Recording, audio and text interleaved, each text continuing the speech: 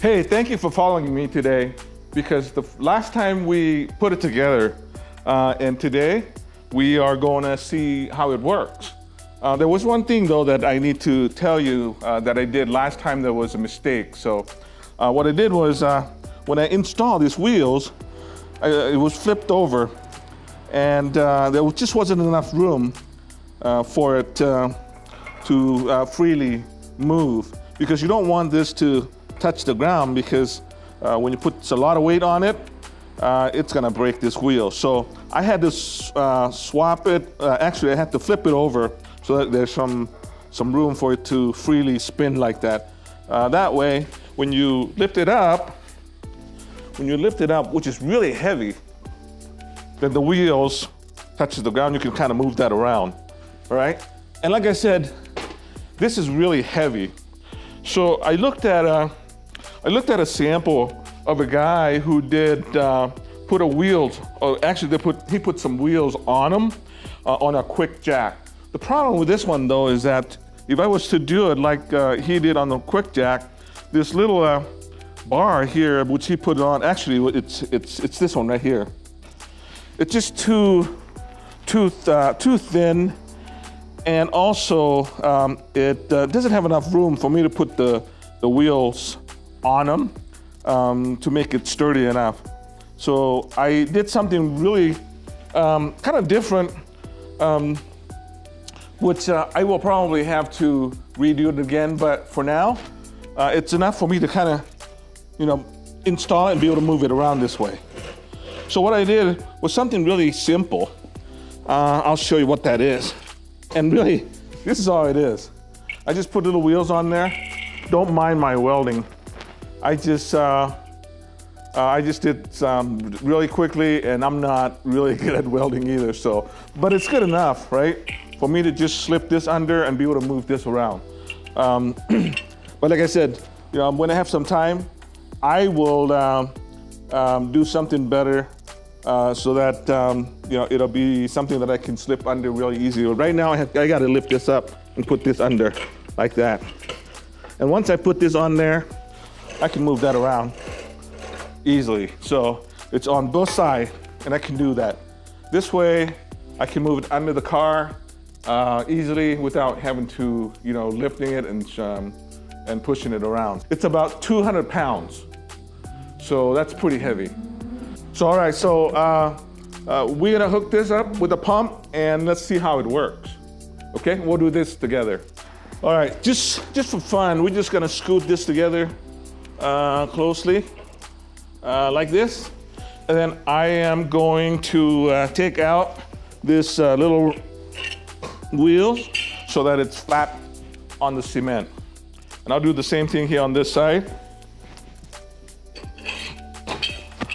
Um, and then we'll, we'll hook the hose up and also the pump. And let's see how that works.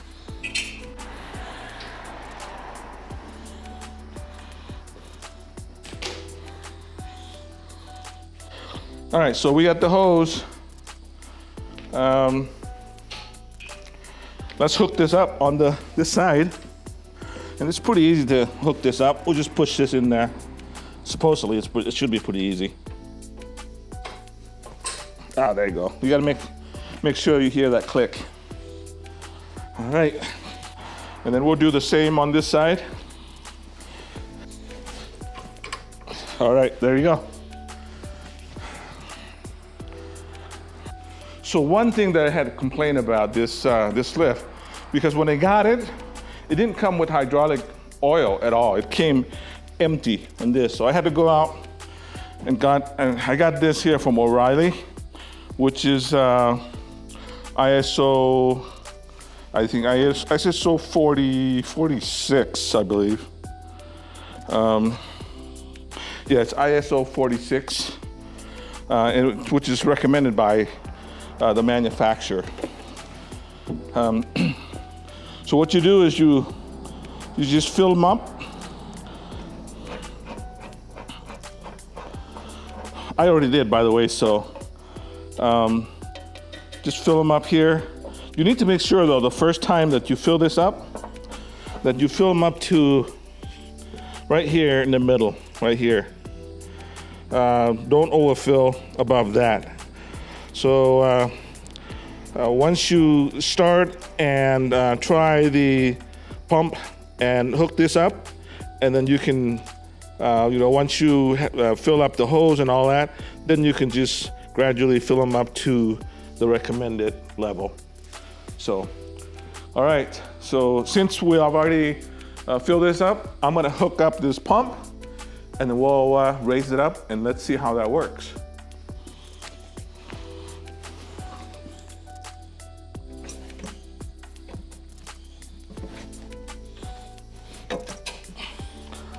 There you go. I'll plug up the power.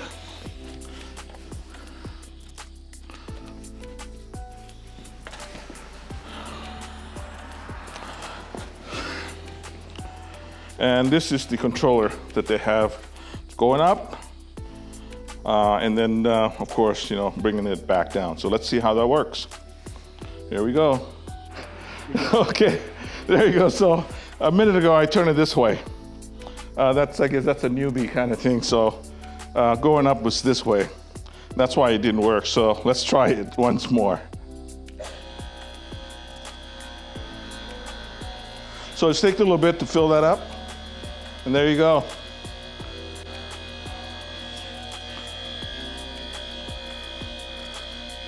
I'm gonna stop that right there just to make sure that it comes up level and check.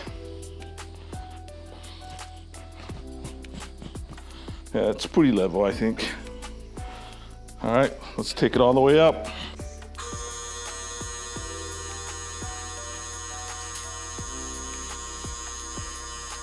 So we'll take it all the way up until we click in that lock.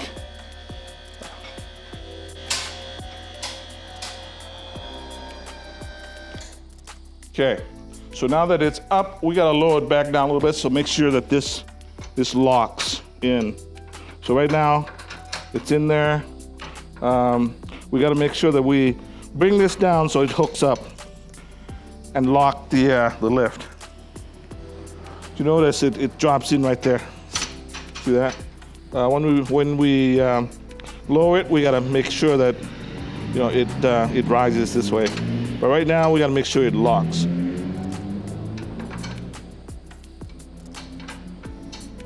Okay, so I'm gonna lower, I'm gonna lower that down so it locks. Now that we got it up, um, obviously when you have a car, um, the lock will be a lot tighter. So um, my weight is not uh, heavy enough for it. So, but anyway, you just need to make sure that you lift, you brace the lift up all the way, and then uh, uh, making sure that the lock is on uh, where the track is, and then lower it down just a bit so that the lock actually uh, click on and tighten up um, so that the, the safety is on. All right, so we got it working. Uh, actually, it was pretty easy to put this together. Uh, just that it's really heavy to move this around. And like I said, I will figure it out how to uh, put the something uh, that I can roll this around. So, but for now though, uh, I think what I got here works. The temporarily, um, I guess, um, hack that I put together.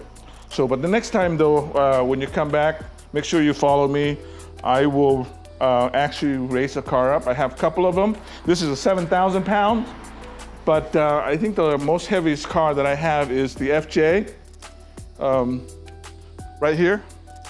Um, and then um, I believe this, this one here is about 4,500 pounds.